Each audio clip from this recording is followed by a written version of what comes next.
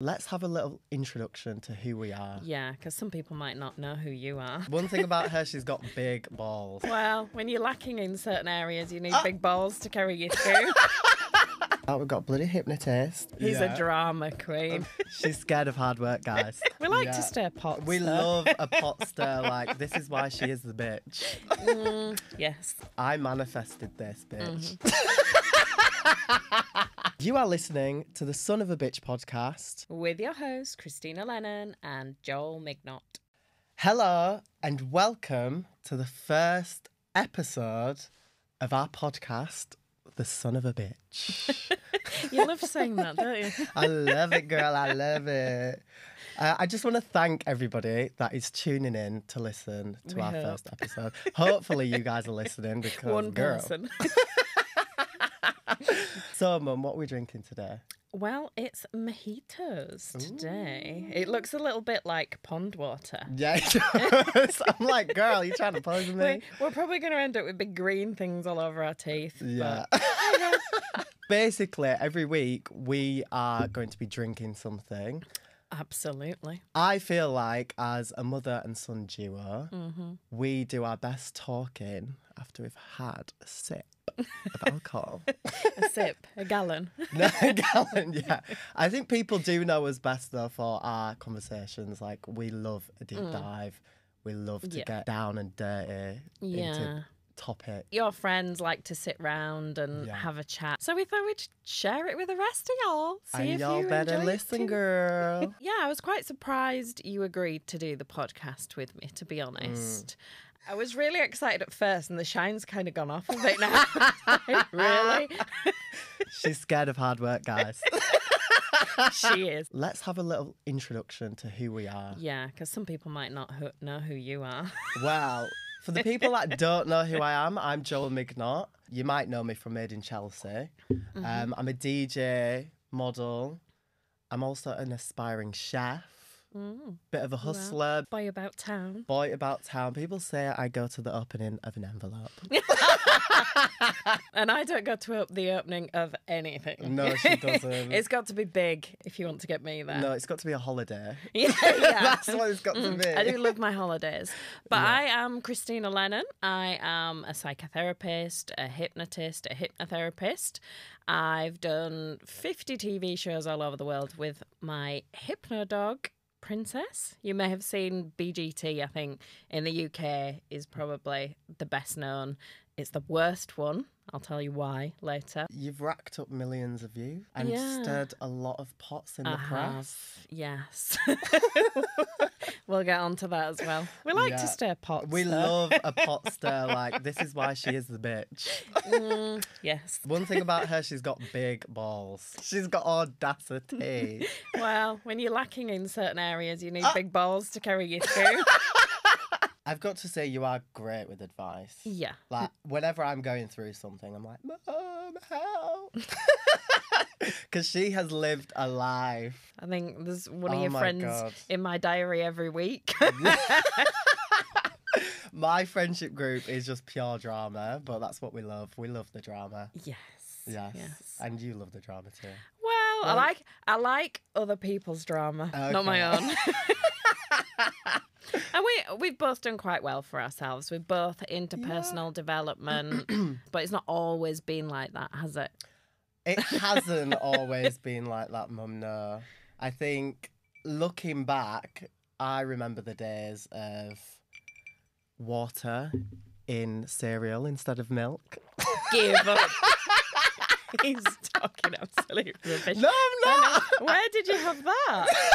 Your I don't think you did.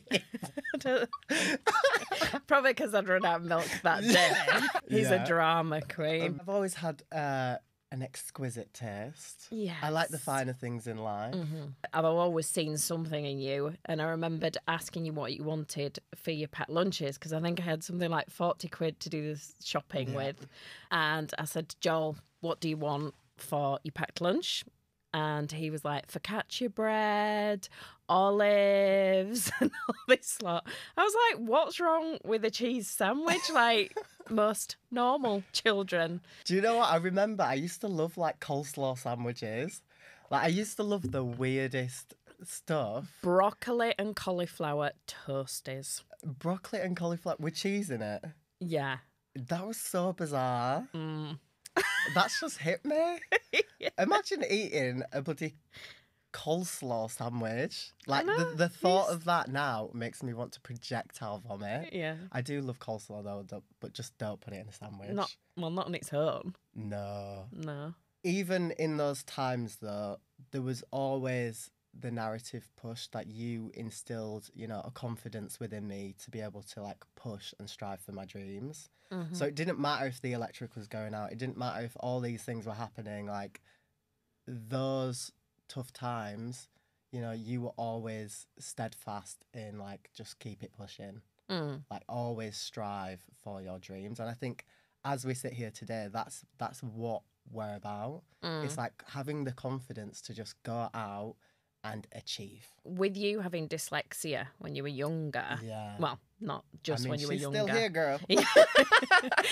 it it taught you to work at 110% Yeah. rather and I saw that it was like you had to work so much harder than everybody else just to get by and that gave you a really good work ethic. For a long time in primary school, I was like, I couldn't read.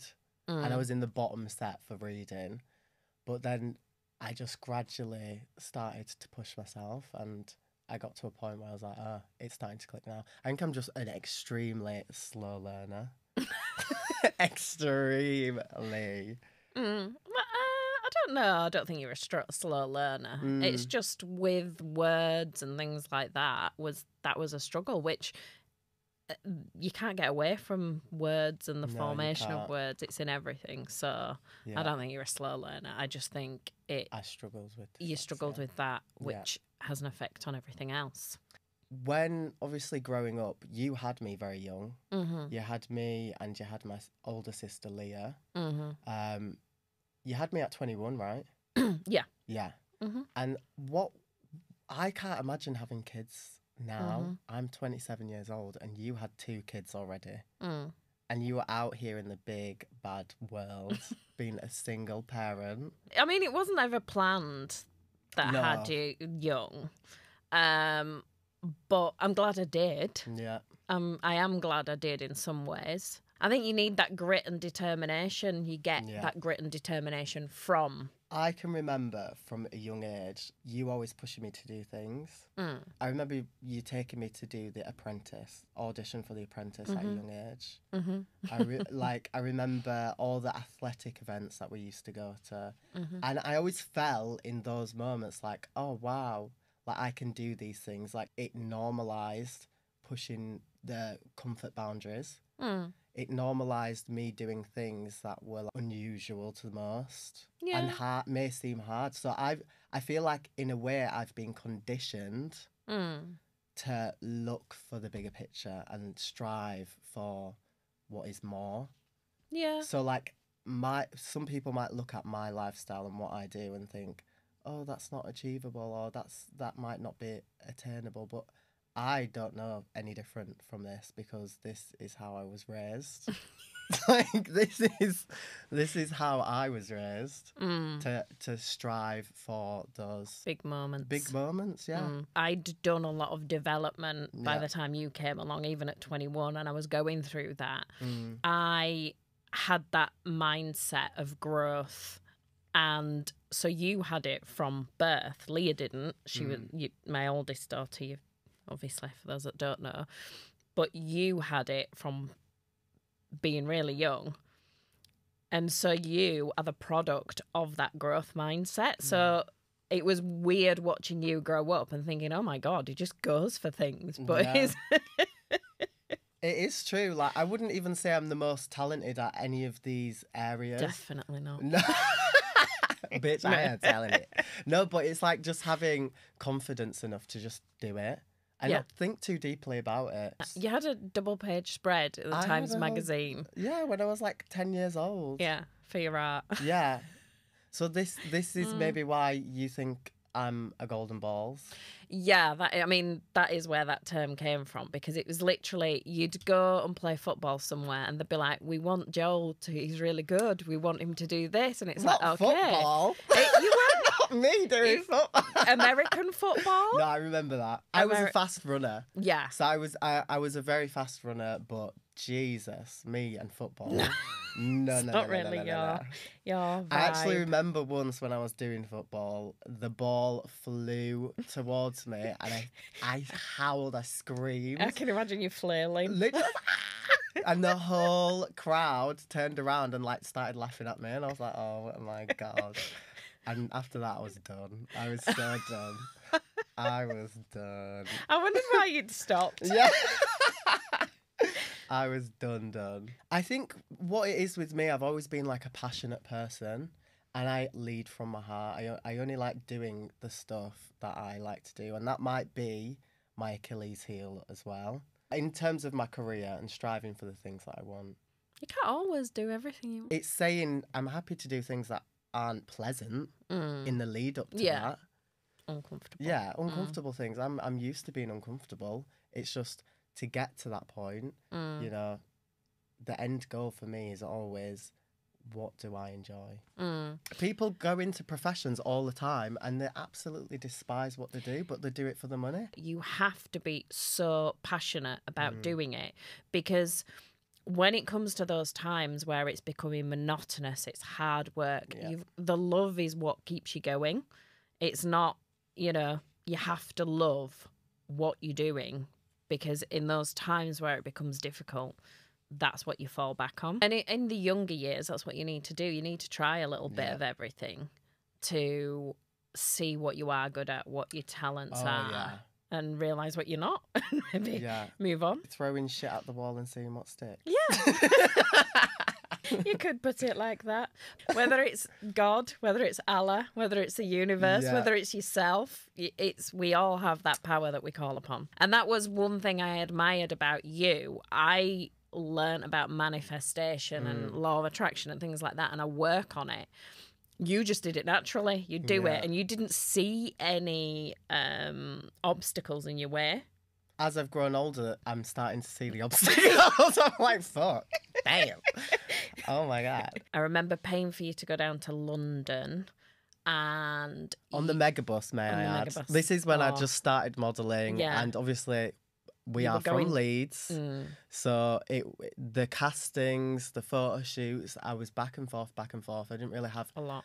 a place to stay. I could have stayed. I could stay with my aunties or a friend, but as I was getting into the city, I was back and forth, back Mm. and forth. But I always remember a picture being taken somewhere like Costa or something, Mm. and you posted it somewhere. And I said, "Oh, I said you didn't have a drink," and you were like, "Oh no, I couldn't afford a drink." Everyone else had gone. I felt so bad. like everyone else had got, you know, the frappes, the lattes, or Yeah. whatever, and you were just sat there with nothing in front of Oh you. God. Jesus. That Yeah. was that was like I think that for me was the, probably wasn't Not you the worst not the, point. Not but- the cappuccino making him emotional. like, where? what? I don't care about the Leeds Fest. It, was, it was the lack of the drink. Yeah. Though even having those trips, going on the castings on the megabus, like those moments were me showing my deca- dedication and commitment to what I was doing. Mm. Um, yeah, like you just dive into it, even when there's obstacles in front of you, financial obstacles or whatever it is. Like Mm. I was just so hungry and doughy eyed at the prospect of achieving some of my dreams that I just went into it, Mm. you know, and did it. Yeah. Um, I remember when I bloody got scammed. Do you remember when I got scammed? You, he These worked. bitches. He worked all summer. All summer. This, this is what I was spending my money it was on. Bond Model Agency in Leeds. Yes, Mm. bitch. We Stay coming for away. you. I'm gonna sue your asses. But you worked all summer, bless you, to have this photo shoot done. This was before I got signed. So before I got signed, I was I was really wanting to be a model, and I contacted somebody in Leeds, and they were like, "Yeah, of course, come down. Like, we'll sign you." Um, but there's a 600 and something pound charge, but that that includes like your portfolio, like all these Mm. things. And honestly, honest to God, doing those pictures, looking back at them now, I'm like, what the Mm. hell? I looked ridiculous, like a full beat face, like blusher the lot. Terrible Eyeliner. images. Yeah, literally eyeliner. Like I looked crazy. Mm. Like yeah. And you never used them ever. no, You were it- laughed like, out of when- other agents. when I eventually got signed, agencies were like, oh, "What? what are these?" And I was like, "Oh Jesus!" I I spent all my money on those as a kid Mm. that I'd earn. Mm. But again, you learn a lesson. I did. that. I learned a valuable lesson. Don't trust a croc. Yes. But yeah, even going into modelling, I, I knew that I just had to get myself seen. Mm. And so I decided to go down to London in the hopes of being scouted. hmm And so from there, I ended up being scouted at, in Camden whilst I Mm. was getting oranges. I remember you going like, "Mum, I'm gonna go down to London to be scouted," and I was like, "Oh God, here we go again." Do you know what I mean? and sure enough, that's what happened. Yeah. For ten years. I know, don't tell people, man. Jesus. No, but literally, I've Mm. done it for 10 years. I dropped out of college, I quit my job, Mm. and I was like, this is what I'm going to do. I thought you'd be two or three years max. Didn't think it'd be ten. Neither did I. 10 years goes by so bloody quick. But like Mm. the stories I can tell and the life that I have lived Mm. has been so worth it. Like, I have lived my life. Maybe Mm. at the detriment to some of my other dreams and some of my other goals, but at this age of 27, I can tick that one off and say that's done. Yeah. Now what's next? Mm. And that's why we're here, ladies and gentlemen. we're doing a podcast. so the, I think the whole the whole thing is here. Like, even though I was on free school meals, even though you know times weren't easy, finances weren't Mm. abundant, the the energy was there. The strength to push for my dreams was instilled in me, and I think that's all it really takes. Mm. Is like I remember you sitting down and showing us the secret.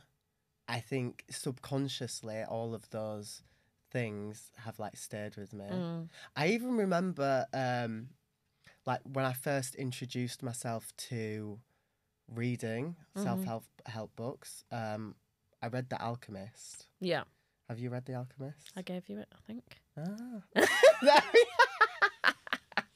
You probably found it at home. yeah, dear. no, I think I did find find it at home.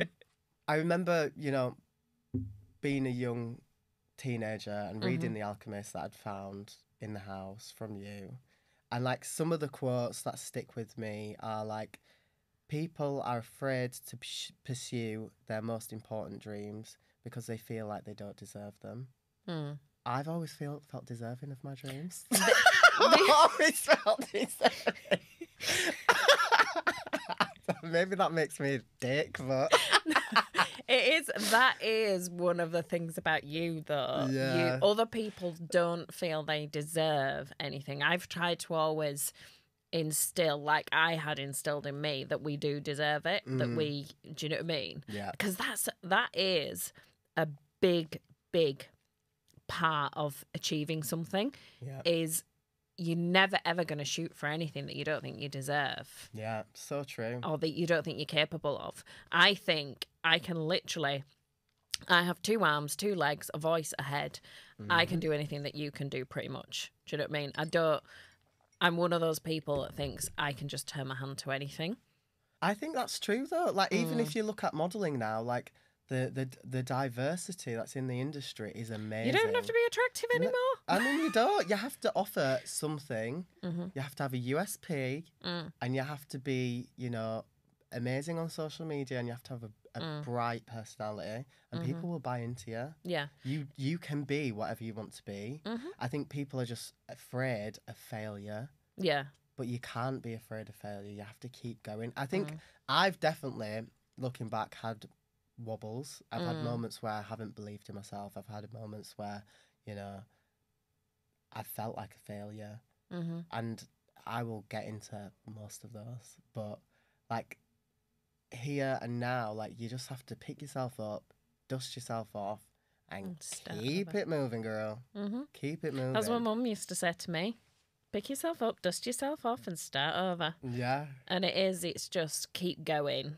And that's one of my favourite things. It's just keep going, keep going, keep going. Perseverance. hmm I'm going to say you've been a big part of my journey. funny that, isn't it? But you, uh, it was because of you that I got into the hypnosis. Yeah, I remember. Because obviously, being pregnant with you, you were huge. Oh, bitch, I was a And I was- big yeah. bitch. Yeah. How many pounds? You were nine pounds, just short of nine Oh pounds when you were born, but you were premature. Yeah, So yeah, so I knew you were going to be big, and I was a heifer. yeah, I still am a heifer. I love to eat. because of you, I got into the hypnosis because Hugh, my age-old friend, I met Hugh. Mm. Um, he was a stage hypnotist at the time, and he gave me a session on about childbirth. I think I was one of the first ever person people to have a childbirth kind of hypnosis session. So that was So- to reduce pain. reduce pain during the labour because I was absolutely petrified. Obviously, I'd already had Leah and you. Like going into it, you're not too scared because you don't realise how painful it is. Yeah. But second time around, and when you were bigger, I was like, ah, I don't want to do this anymore. So yeah, Hugh gave me the session, and that's what sold me on hypnosis. I was like, my God, it was Mm. so powerful. I was like, I have to be able to do this. And so I started studying when just after I, d- I think I was already doing counselling when I was pregnant with you, Mm. but then it was like 1999 I started doing the hypnotherapy because I was like I need that power. Yeah, So- it's a it's an amazing power. It is. It is Yeah. super like Mind control. yeah. Is, Mike. People, is. a lot of hypnotherapists are like, you don't control the mind. Yes, you bloody do. Yeah. You can't make people do things against the will. Yes, you can. Otherwise, what's the point? no, but what's the point if you can't? You can't do it on your own will. Mm. I've got to make you do it against your bloody will. Do you know what I mean? But do you not think it's just going into their subconscious and rewriting that?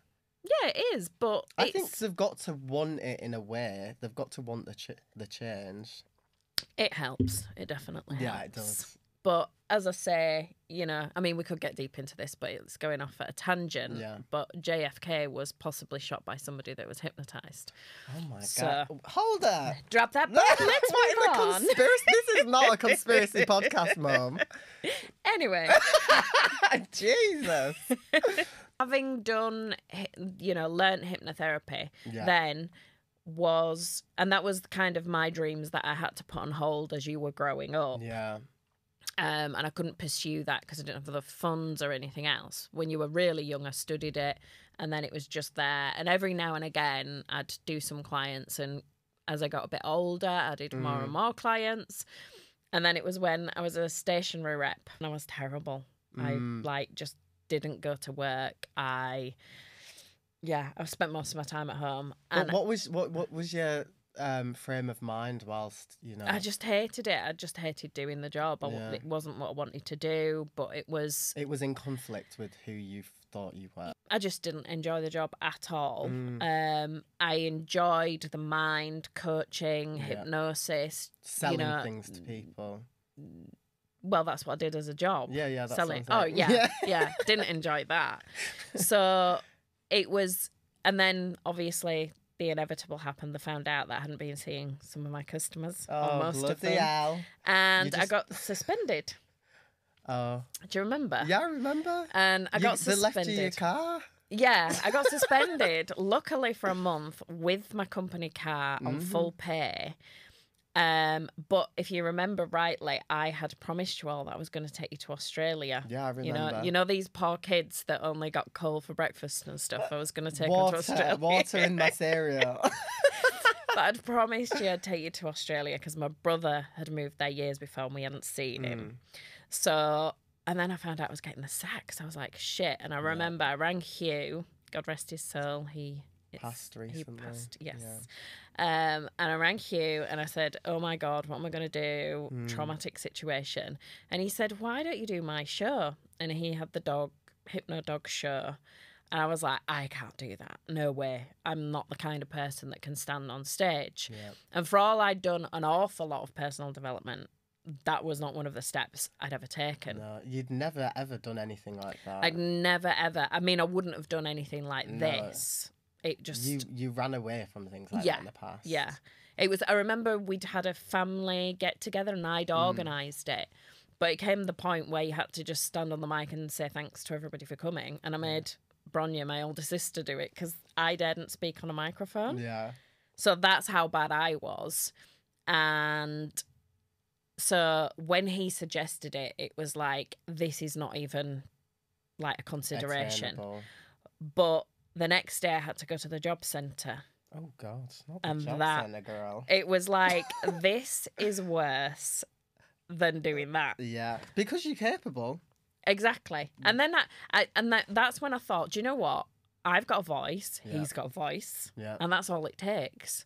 I can Mhm. move the same way he moves on stage. I can speak the same words he speaks with the same volition, the same projection. Yeah. I can, so I can do that. And I had to kind of take myself through the logistics of it all. And so I rung him and I was like, I'm going to do it. And he literally sent me a video of his show Mm. that I scripted. I literally wrote the script and I rung the universities and just said, because he used to work the university circuit, and I just said, the show's back. Do you remember it? And they were like, yeah, Yeah. amazing show, because it was brilliant. Mm-hmm. It's brilliant when he did it. um, so yeah, and I think I got six shows booked in, and most of them paid up front, as any you know savvy businesswoman would do. I thought I'll take that money. I'll take everybody on holiday. She took the money and she ran all the way to Australia. We went to Australia for a month. we had a great time. yeah, yeah, that was that was memories, and I thought, do you know what, sod it, and I had to learn the show when I was in. But I love I love that about you. Like you're Mm. very much like let me just live my life and then worry about it when it gets to the bloody melting point. Yeah. Can, can can you do this? Of course I can. Shit. How do I do that? Yeah. we'll figure it out. But that is It's how I you- operate. Throwing yourself in the deep end. Yeah. And again, it's me being a work away from pain kind of person. I'm, Yeah. I don't get motivated to work towards things. Yeah. I work away from pain. So I have to put myself in a painful situation for me to take massive action. And I've learned that about myself. Yeah. Learning the own manu- manual for my own brain. Mm-hmm. So I decided, right, I am, you know, I'll do it. Booked the show, spent the money. So I had to learn. And the first show, oh my God, in, we won't say where because I don't want them getting back onto The me for a refund. The first show was diabolical. Honestly, It Woo! was, It still gives me palpitations thinking about it it. was, to be honest, from the viewer's point of view, then they enjoyed it, didn't they? Yeah, because they didn't have the foggiest idea what, What was actually was supposed to happen. supposed to happen. But but it- I did. Hugh had Hugh was old at that point and he was doing Yeah. the music for me and he put the wrong music on which threw me off and then he was trying to get my attention to tell me stuff which threw me off more. Honestly, It was awful. I just wanted to be an ostrich and throw my head in the sand. like I was just like, what is going on? I think that was the biggest. I always remember somebody saying to me after I'd done like 15 shows, they were like, Have you ever failed on? I thought, Jesus Christ, my first show was the biggest failure Yeah. ever. And then literally, Didn't people come up on stage saying like, "It's okay"? no, You- making this up? yeah. Jill's got his I'm like, damn, that was bad. Let's, Let me let's make sprinkle it a bit some more salt. dramatic. Embroider the truth. I am Irish. So. I remember I went off stage. I literally told people that I'd had a technical fault. And I walked off stage and I was like, I can't do it. So it was it was you that was like, Mum, people are shouting they want to see the dog. Go back out and speak to them. And when I did, Mm, I learned that they were all really enjoying it, and people were going under, Yeah. but they weren't responding to the suggestions I were giving them. I, I hadn't got them deep enough. yeah. Um, I'd got them deep enough to go to sleep or what looks like sleep, but not deep enough So- to f- to cause amnesia. Yeah. which was the next step. They needed to forget the number seven, and it just wasn't happening. So that was a disaster. So for people listening, what is hypnosis? The there's it, that would take a whole podcast. Yes. Uh, well, no, it wouldn't. It'd take probably a couple of years. But basically, it's an altered state of awareness. Yeah. Um, some people say that a bit like driving your car, you arrive at your destination and you think, how many people did I kill on the way here? Because you had no idea how you got there. Like autopilot. It's yeah. So it's like you you you know you can you can create hypnosis by confusion, like getting people out of the head, kind of thing. So it's like a state of like unconsciousness. It's not unconsciousness, no. It's consciousness. People are conscious still. Right. That's why when people watch shows like, oh, that person fell, and the bang, they they save themselves from banging their heads, but they're not unconscious. Uh, but a lot of them forget what they've done. In That's the causing show. amnesia. right. That's something different. Okay. Anyway, Ooh, girl, there's a we, lot. we might do another show. yeah, we will. We, we will get about into this because it's such an interesting topic. Yeah, everybody's, which is why I do it. I love it. It's Yeah. fascinating. It is. So, but yeah, that show and a couple of shows later, um, and well, just after that show, Mm, I got offered to do Britain's Got Talent, and I said no. mm. The second show I filmed was for German TV, and then my third show was Britain's Got Talent. Yeah. I literally went on Britain's Got Talent, had it, and I'd only done another successful show before. You said imposter syndrome. Who? she was like, "Let me get the I think I- certificate." I think I've got the reverse of that. yeah, that. you were like, "Bitch, this is why I'm saying she got big balls." Because who the hell is doing that? I just thought, well, Britain's Got Talent. People love to see people fail anyway, so I mean, Jesus. And you can imagine, I went with her for Britain's Got Talent, ah. and I was like, I've just seen what she's bloody done. like, is, is this going to be the same on TV? But it could have ruined your Thank- life as well. yeah, I mean, th- thank God for the edit. You'd, you yeah, you'd, you'd had the holiday, so you had to support me. No, yeah, exactly. she put us to work. That started BGT, like it all blew up then. It all blew the hell up. It was crazy. I mean, I was papped on my doorstep, stopped in the street. It was ridiculous Yeah. at that time. But then, since then, I've just done You've done so many TV shows like Loose Women, Lorraine, Lorraine, The World's Greatest in LA. The World's I- Best. Oh, yeah. The World's Best. Yeah. With Drew Barrymore. RuPaul, James RuPaul. Corden. Yeah, you came to LA whilst I Mm. was living in LA. Yeah. And so it was like a Joel, Krystyna take LA moment. Yeah. We did a month. Well, yeah. Was it a month? We did, yeah, me and David Oh, went. wow. David, my partner, we went for a month. Oh, wow. We'd have been there a lot longer as well if I'd have got further in the competition. Yeah, but, that's true. That is true. but yeah, we were there for a month, so it was it was good. It was good. It was good fun. Do you have any little stories for us? So there was Any behind oh my the god, scenes there's so many I've got. What of the whole time? Well, yeah, like I think I was really good at dissing people. I figured, and this Oh, is right. something I was gonna say. I was gonna say shit. something I get from you, but maybe you get. No, I get me. it from you. My friends say it all the time. You're getting more like your mother. You're getting more like your mother. I'm like, God. fucking hell. it's I remember when I did I'd done the Lorraine show Mm. and I was with Princess and I was taking her out to the smoking area because Princess likes a fag after the show. she needed she needed a wee. And as I walked through the door, Coleen Nolan sat there. I Mm. can't remember if was smoking or not. And as I walked through the door, she went, Hi like this. But I don't know her. I didn't think she was talking to me. So I just completely ignored her and walked straight past. And my manager was stood at the other side, just like, oh my God, you just dissed for Coleen Nolan. I So- mean, And then I'd have done the same, babes. Yeah. I think the worst diss was when I was in LA. Mm. I was, we just finished filming and I was out with the dog again, and loads of the production staff was there. And this guy starts approaching me and he looked crazy. and I was like, and you know, we'd had some experiences. Who is this? Yeah, I'll tell you who. Wait a minute. we had some. We've had some crazy experiences In like, in LA? America. Yeah. People are crazy. You have to be careful. So I'm stood out there, and this guy's approaching me, and he looked like like some weird scarecrow with like a drawn on beard. and Wait a minute. Who are you talking about? Jeez. And I'm stood there and I was like, who is this guy? And I looked at the production staff thinking, are they going to call security? Did somebody sneak in from Skid Row? That's what that's what I was thinking. So anyway, all the production are staring at me and like they're looking at me as though something's kick, gonna kick off. So I'm thinking this guy's dangerous. The no, you know, he maybe he comes around here a lot, and he walks up to me and he goes, "Can I touch your dog?" And I went, "No." I said, "She bites like that," and I turned my back on him. And so he he was like, oh, um, and he started asking me questions about Princess, and I was like, can you not touch her, please, like that? And I kept, just kept turning my back and moving, and I'm looking at production thinking, why are they not calling security?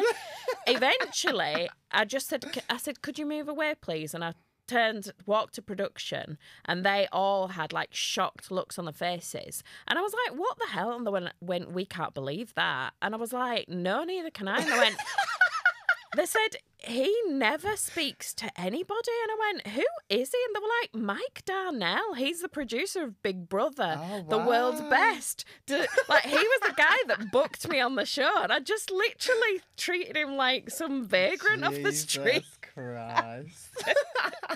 And when Drew Barrymore walked in, Mm. my dre- in no, I think I was in her dressing room.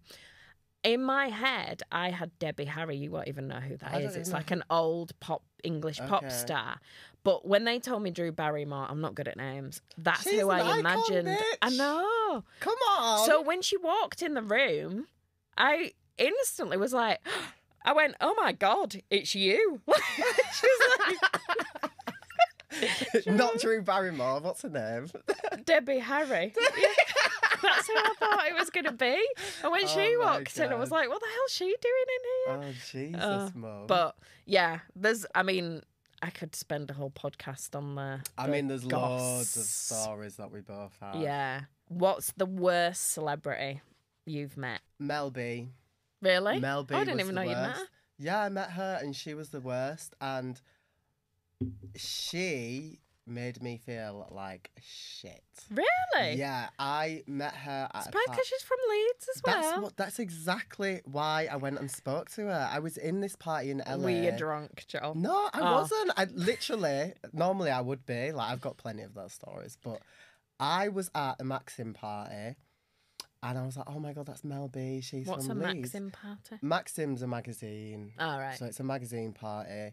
And I was like, oh my God, that is Mel B. I went up to her and I was like, oh my God, you're from Leeds. Like, I'm from Leeds. Like, really wanting a connection with her. Because, like, obviously, being Mm. in LA alone at 19, 20 years old, I, I Mm. wanted that connection with somebody. I wanted that familiar And voice. the most famous person in the world. Yeah, she, she, she gave me all of this. She was like, no. She, she literally said, no. Really? and turned around and walked off. I'd barely even opened my mouth, and I was literally stood there like, "Ah." but at the time, it was around the time she was going through her divorce with her husband. yeah, probably so I think she might have been going through some personal issues, but it affected me. I was like, damn, there's some bitches She she lives here. literally in hospital Yeah, so now. I'm I'm a run no- up on you, bitch. yeah, good knock on a door. you could literally walk to her house from ours. I think though, for me, that was a lesson because like, even when you're going through something, just be kind to people. Like you don't Mm. understand how you could affect somebody. Mm. Like if somebody comes up to you and wants to see a picture or just speak to you, like l- give them the second to speak to you. It's it is hard though. I pr- I mean, Mm. obviously I'm no Mel B, but we've we've but I've had a moment, a tiny little taste of that being recognised in the street, We're definitely giving Z list, mum. and yeah, but literally when I'd just done BGT, I was there for you know a week maybe. yeah. Do you know what I mean? Having Mhm. people stopping you constantly in the street. Yeah, of people you see keep people's cameras coming round the train seat, taking pictures of yeah. you, stuff like that. I've, and I've had that too. I had that on a day where I was really going through it. Mm. And to be polite to people, to be stopped Ah. every two second, to have your picture taken when you've got no makeup on, you feel like your An life's falling stomach. apart. and it's like, yeah, it's like, will you just back the fuck? Do you know what I mean? I, to be honest, So imagine that your whole life. I can imagine. You probably learned that. No, Uh-uh. not today, Satan. I remember there was one time me and Robbie were bloody having an argument in public, and Oh, God. somebody was like, "Can I have a picture, please?" And I was like, ah, no way. I was like, "No, no." But that's the one time that I've been like Yeah. flustered. But that's what I mean. Imagine that your whole life. yeah, That is, you know, and she's obviously, she has probably a million, that times a million Yeah. her whole life. So that brings me nicely on to my rant for this week, oh, hit us. which is also a rave. Okay. It's a rant and a rave. So about the tell people why we do the rant. And So the rave. rant and the rave is just, you know, whatever's like boiled our blood, Yeah. whatever's getting on our tits. or, or or- something that needs a moment of praise Yeah, that we yeah, adore and love yes. that needs recognition. Yes. So my rant and rave is both consistency. Ooh, she is a hard nut to crack. Exactly. Because consistency, ran is like, oh my God, anytime you're doing anything, everybody's like, you got to be consistent, you got to be consistent. It's like, fucking hell. And at first, you set off on a journey, like podcasting. You're Yeah. like, this is going to be so much fun, creative Yeah. ideas. then you get into it and you're like, fucking hell, I've got to sit next to you. but it's like, It's the pleasure. it's the consistency of Yeah. not just doing so anyone can do something once or twice and you know put loads of effort into it but to keep doing that Yeah. thing and putting the effort into it and it's it can suck the life out of you you Would know? you say that you're a person of routine though? Because people, some people that love routine love consistency. i am not I always. I always described myself as a fly by the seat of my pants kind of girl. what does that? Do you know what I mean? Have you never heard that? Where is this fly? Unless you buy your pants. So basically, I just, you know, go wherever the wind blows. okay. it's yeah. just like, you know, I, don't, I never used to have a structure or a Yeah, plan. that's, I think I'm exactly the same. Yeah. And whenever I try and apply structure, I just think, "Mm, I'm not that kind of person that, that can have structure. Yeah. And I've had to learn Mm. structure and consistency. And it's not easy. And I have, you know, the kind of brain that gets bored easily. Yeah. I don't like doing the same thing over and over and over. It, I find it very boring. So being Mhm. consistent for me goes against my the grain. Do you know what I mean? Yeah. It really goes against the grain for me. So I really struggle with it. I find it hard. I hate it. However, I, I've busted my head trying to find another way because I'm lazy. I'll try and find the easy way out if I can. And I've busted. It's all about working smart and not exactly. hard. Yeah, and lazy people do that very well. Yeah.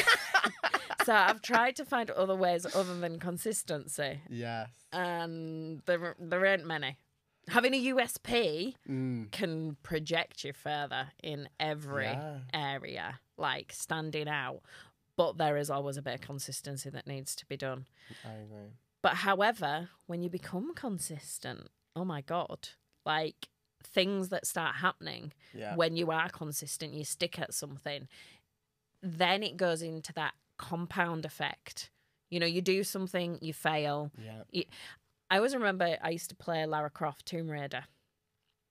I Oh don't know yeah, I, whether you re- I remember that. that. Yeah. Yeah. I used to Um, that. And it's a bit like you go along, you make that jump, you fall, you have Mhm. to go back to the beginning again. Yeah. But this time you've learnt a bit so you can get a bit further. And then you die, you go back to the beginning again, and then you get a bit further. And that's like consistency, compound interest. Yes.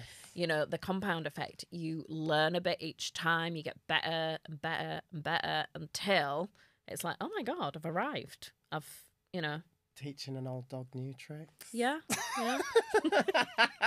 so yeah, so consistency is that absolutely hate it, but when you do it and you stick It is a it, necessary step. yeah, Yeah, mm, I totally agree. But yeah, is it hard?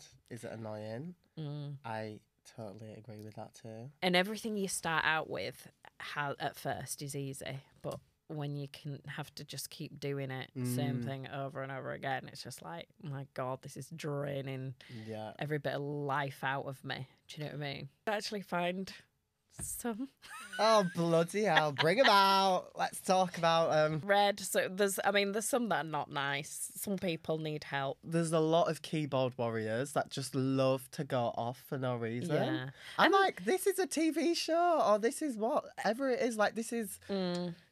And it's they get a 30 second clip of an hour's conversation, yeah. and the- they have this big judgment the on you and your character. The tip of the iceberg Mm. of my relationship and what happens to me in that environment, like Mm.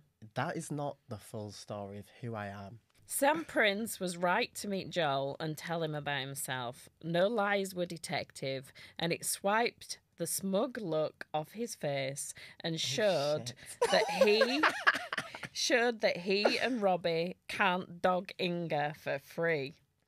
Oh wow. Hold up. Let me speak about this scene. I literally went into that scene to a pub. Like, can you picture me in a pub? And I thought that. I thought, Jesus Christ, there's like four guys there. yeah, I literally. I thought you held your own in this that is the situation. thing. I walked into that and I was like, why are all the men here? They're all gonna jump For you. me. They're not here to flirt with me. They're here to attack. So I was like, what the fuck is going on? I I did think that. it literally shook me to my core. I was like, what are these boys Mm. doing here? Even though they weren't there to cause any harm, no. it, it, it just. it's intimidating. it's very intimidating. when I watched that, that's exactly what I thought. I, I thought was that like, is oh, that's the tactic y'all use. Mm. Intimidation. yeah. But yeah, fair enough. Fair play. Mm. You stood strong because I thought as when I saw that scene, I thought, "Do not back down, Joel. Don't you dare." I know. I'm not a fighter like No. that by nature. No, but you'll stand up. Oh for yeah, I will. You're stand up for myself. You'd say the same to Inga as you would to for any of them. for sure, for Mm. sure. But like, I'm not gonna fight with crazy. Like, y'all want to be crazy, y'all can be crazy. Mm. Y'all want to stand in a pub and wait for my cute looking ass, y'all can do that. Okay. So maybe an unpopular opinion, but Joel is quite subtle and and and Subtle? undercurrent ways controls aspects of Robbie's life, friends, Oh, with the guys of doing what's best for him. I've got to say that sounds like me. like, I'm sorry, but who doesn't at some point in life try and do that? Like, you have to, you have to stand up for what you believe in.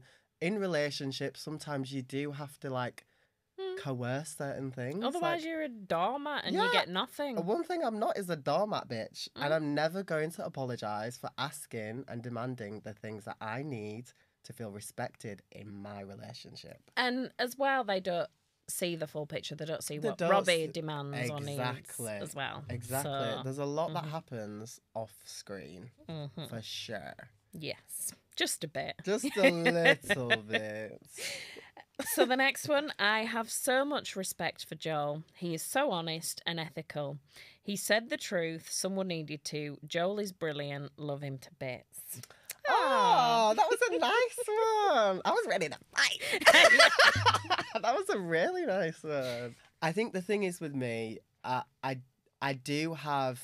I'm obviously like a well-rounded person. Like I do have a nice side to me. I have a bitchy side to me. I have all these sides to me, and I never do anything with any malice or mean-hearted intention. I think that's something that I've grown to try and like, you know, Mm. embody. Um, but yeah, sometimes I'm wrong. Joel is incredibly articulate in his thoughts. He just hits the spot and is totally right. Bitch. it's taken me a long time to be articulate. As you listen to my voice, you will feel obliged, obligated, compelled to subscribe, like, and share. So I just want to thank everybody for being a part of our first episode. I think, you know, it's important to remember our journey and where we've come from and, you know, Introduce ourselves. introducing ourselves, who we are, what we're about. We've got bloody hypnotist, bloody hustler in the corner. We are just go getters. And um, yeah, I, I think it's clear that character is built under pressure. Mhm. True. Do you have a final thought? Character is built by how you respond to what happens in your life. Whether it is winning every game, losing every game, getting rich, dealing with hard times. Character is the result of hundreds and hundreds of choices you make that gradually turn who you are at any given moment into who you want to be. You can make a living or you can design a life.